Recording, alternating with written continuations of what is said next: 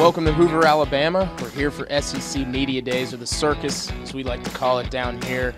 Welcome back to the Chris Vernon Show. We are at SEC Media Days. Second year coaches in this league have made huge impacts.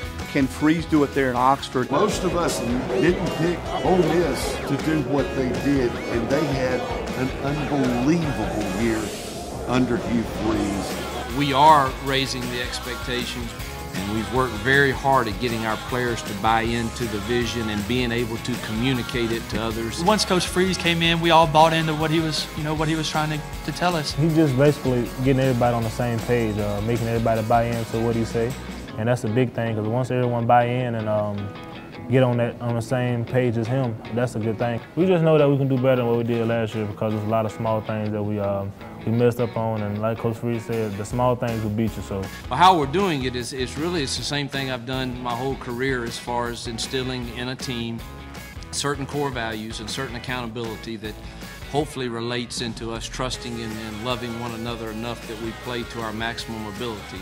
Um, you know, we knew that, you know, his big thing was play out of love for each other, and that's something that we did. And, um, you know, was I surprised about it? No, I, I, wasn't at all because, you know, when I first got there, I felt like we had talent. How much better can the offense be this year? I mean, you guys put up big numbers last year, but obviously the goal is get better, bigger numbers. I mean, we're working on the small things. There's a lot of small things we got to fix up, and uh, we just got to stay focused and listen to Coach Freeze. If we listen to him, he'll guide us the right way.